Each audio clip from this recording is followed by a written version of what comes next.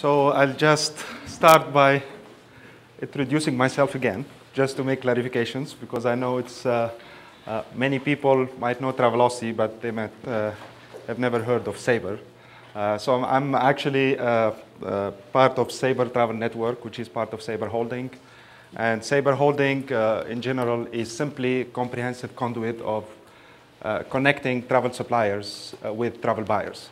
Uh, so Sabre Holding has a lot of entities, and uh, uh, I'm part of Sabre Travel Network. it's the biggest entity in Sabre, and it is what's known in the industry as the GDS, Global Distribution System.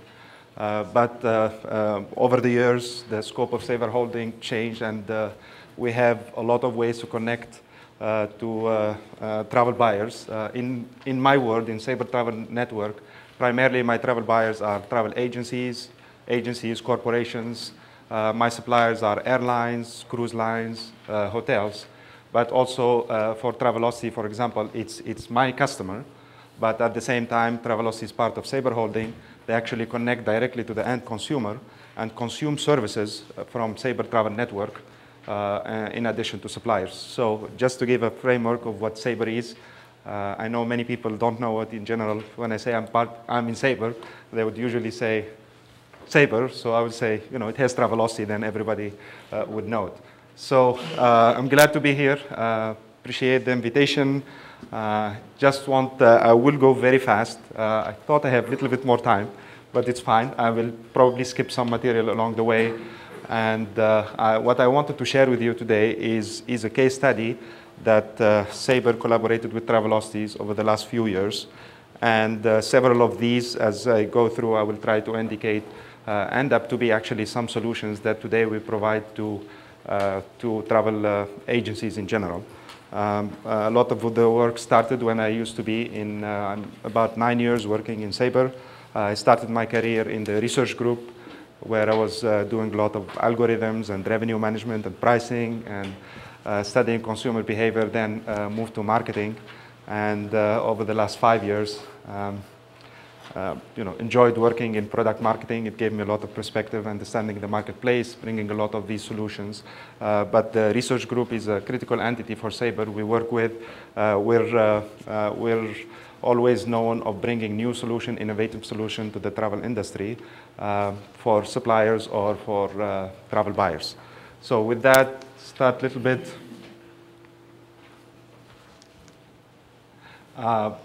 You know, uh, introducing a little bit the challenge. I'll go a little bit fast.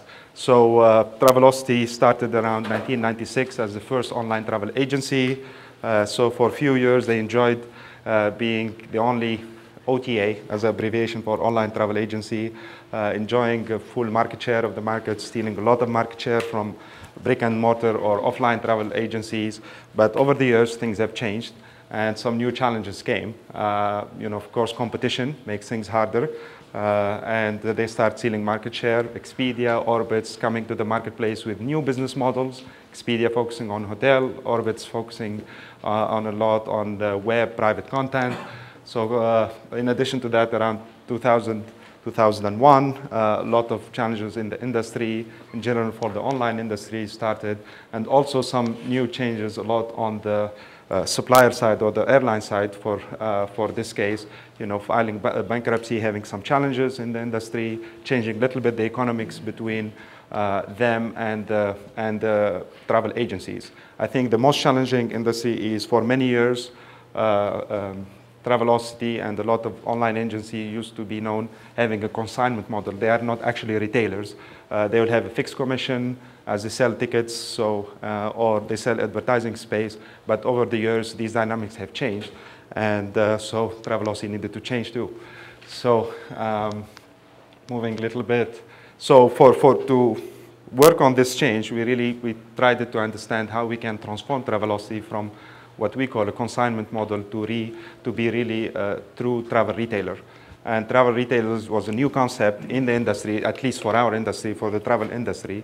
So we needed to understand our customers, uh, clearly understand the dynamic of uh, our suppliers, and also adapt to the changes uh, in the marketplace and their uh, uh, change uh, in their model.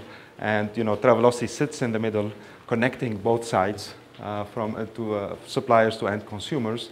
And behind the scenes, as I mentioned, consuming solutions and